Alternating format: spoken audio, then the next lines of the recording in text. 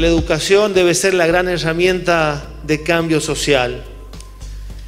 Que un pueblo donde sus autoridades no ponen en foco que hay servicios esenciales no delegables, no canjeables, que tenemos que asignarles presupuesto, pero también compromiso.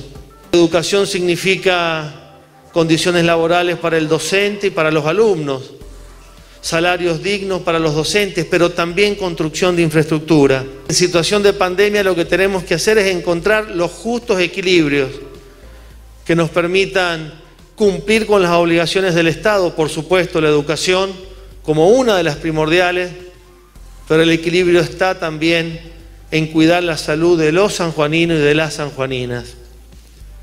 Quiero en la mañana de hoy agradecerte el apoyo incondicional económico para que las escuelas afectadas por el terremoto tengan esa inversión necesaria por casi mil millones de pesos para que vuelvan a recuperar las condiciones normales, para volver a impartir educación como queremos en San Juan, como quiere el ministro, como quiere este gobernador y como se merece el sector docente y los estudiantes de nuestra querida provincia. Hoy es un día bastante feliz para la educación porque un gobierno nacional que tiene presencia federal acompaña a una jurisdicción de un gobernador que permanentemente hace que los ministros trabajemos en manera y de forma horizontal.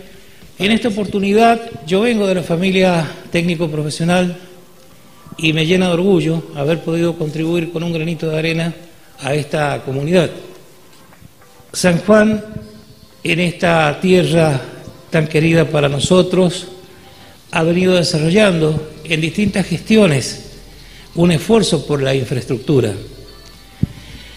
Todos los esfuerzos no alcanzan porque sin lugar a dudas en algún momento se detuvo el mantenimiento de las escuelas, en algún momento se detuvo la construcción de escuelas y esto hay que decirlo, cuando hay sensibilidad desde quienes las cosas pueden ser posibles. Hoy aquí en San Juan poder estar inaugurando este establecimiento, esta escuela vinculado a, lo que es la formación profesional, ¿no? el vínculo que debemos fortalecer entre la escuela y el mundo del trabajo, a lo largo de todo el recorrido de nuestro sistema educativo, desde la educación inicial, ¿no? la educación formal, la educación no formal. Cada aula de nuestra Argentina federal, diversa, tenemos que generar los espacios para que se produzca esa magia de creación de conocimiento. En esos aprendizajes horizontales, colectivos, y que nos permitan formar ciudadanas y ciudadanos plenos. Por eso es muy importante que estemos inaugurando un espacio de formación profesional, generando oportunidades generando los círculos virtuosos que nos permitan ir adquiriendo distintos saberes a partir también del ejercicio en las aulas, de las prácticas profesionalizantes, para insertarnos en el mundo del trabajo.